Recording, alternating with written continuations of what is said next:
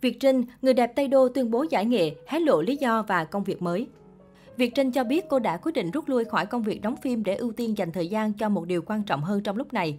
Việt Trinh sinh năm 1972 và là một diễn viên nổi tiếng thập niên 1990.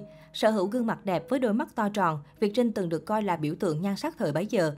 Trong số những bộ phim cô từng tham gia diễn xuất, Người đẹp Tây Đô với vai Bạch Cúc được coi là tác phẩm điện ảnh đã làm nên tên tuổi của Việt Trinh. Dù nhận vai từ khi 24 tuổi nhưng đến tận bây giờ sau rất nhiều năm trôi qua, khán giả vẫn yêu mến gọi cô với cái tên Người đẹp Tây Đô. Xinh đẹp, tài năng và nổi tiếng nhưng Việt Trinh lại rơi vào cảnh hồng nhan bạc phận khi trải qua nhiều mối tình đẫm nước mắt. Đứt gánh giữa đường sau thời gian ngắn chung đôi với Phước Sang, diễn viên 7X lần lượt mở cửa trái tim với hai đại gia Phạm Huy Phước và Trần Văn Giao. Tuy nhiên, cả hai lần nữ diễn viên đều ngậm ngùi chịu thị phi khi bạn trai bị vướng vào vòng lao lý. Khép lại những cuộc tình đẫm nước mắt, Việt Trinh đã tìm được hạnh phúc mới. Nhưng rồi cuộc hôn nhân của nữ diễn viên và chồng bí mật cũng tan vỡ dù đã có một con trai chung. Tôi và ba của con chia tay dù còn đang rất yêu nhau, Việt Trinh từng chia sẻ. Sau nhiều thăng trầm, nữ diễn viên quyết định không kết hôn mà sống một mình nuôi con và làm công tác xã hội. Nhiều năm trở lại đây, Việt Trinh chọn cuộc sống lặng lẽ và cũng ít tham gia vào các hoạt động của làng giải trí. Mới đây trong một buổi livestream với người hâm mộ, Việt Trinh bất ngờ tiết lộ mình đã âm thầm giải nghệ vì muốn dành thời gian cho cậu con trai đang chuẩn bị bước vào tuổi dậy thì. Trinh có một cháu, cháu cũng lớn tuổi rồi nên giờ Trinh đã rút lui và chuyển qua các công việc thời trước mình thích như làm đạo diễn.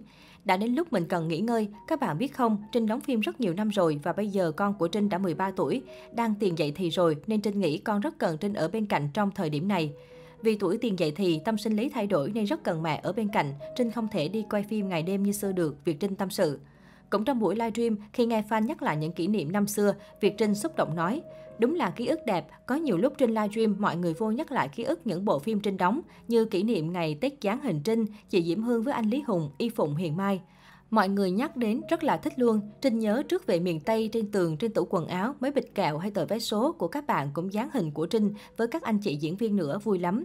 Cũng theo lời chia sẻ của nữ diễn viên, hiện tại dù không còn hoạt động nghệ thuật nữa nhưng cô vẫn đều đặn giữ tương tác với khán giả qua những buổi livestream, đồng thời kinh doanh online để kiếm thêm thu nhập lo cho cuộc sống của hai mẹ con. Được biết, con trai Việt Trinh năm nay 12 tuổi, tên là Thiện Nhân. Nữ diễn viên chưa từng để lộ hình ảnh nhóc tỳ trên các phương tiện truyền thông. Lần gần nhất là vào tháng 12 năm 2021, Việt Trinh đã đăng tải đoạn ảnh bên quý tử Thiện Nhân trên trang cá nhân. Trong ảnh là khoảnh khắc mẹ con diễn viên 7X check-in tại sân bay. Tất nhiên cô cũng không để lộ mặt của con trai. Việt Trinh hóm hỉnh viết kèm, nay con cao hơn mẹ rồi, lâu lắm rồi mới hẹn hò cà phê với trai đẹp 12 tuổi. Loạt ảnh lập tức thu hút sự chú ý, ai nấy ngỡ ngàng vì nhóc tỳ ngày nào đã lớn phỏng phao, thậm chí cao áp đảo mẹ. Về việc không công khai dung mạo quý tử, người đẹp Tây Đô cho biết vì muốn con có cuộc sống bình yên, không bị ảnh hưởng bởi sự nổi tiếng của mẹ. Ngoài ra, Việt Trinh từng tiết lộ việc quý tử không biết mẹ là người nổi tiếng, cho đến khi ra đường thấy mẹ hay được mọi người xin chụp hình thì nhóc tỳ mới nhận ra.